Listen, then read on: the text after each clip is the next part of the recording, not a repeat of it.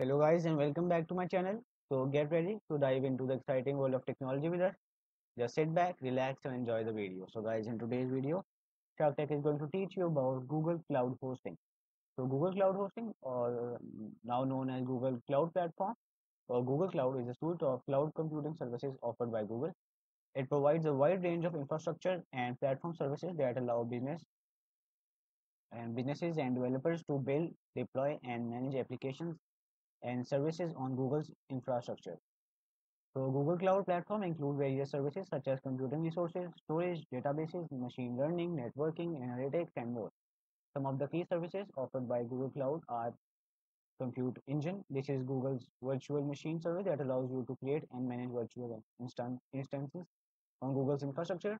App Engine, a platform as a service, PaaS offering that allows developers to build and deploy applications without managing an underlying infrastructure. Kubernetes engine, a managed Kubernetes service that enables you to deploy, manage, and scale containerized applications using Google's Kubernetes platform. Cloud storage offers scalable object storage with features like data redundancy, versioning, and easy integration with other GCP services. Cloud SQL, a managed relational database service that stores MySQL, PostgreSQL, and SQL Server, making it easy to set up, manage, and maintain databases. BigQuery, a uh, fully managed serverless data warehouse that enable, enables superfast SQL-like queries for analyzing large datasets.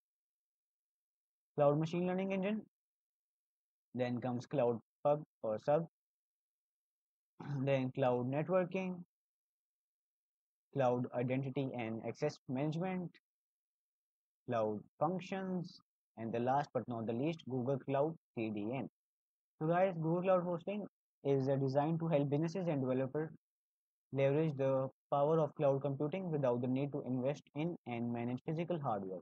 It offers scalability, flexibility, and a wide range of tools to build and manage applications, websites, and services on Google's reliable infrastructure.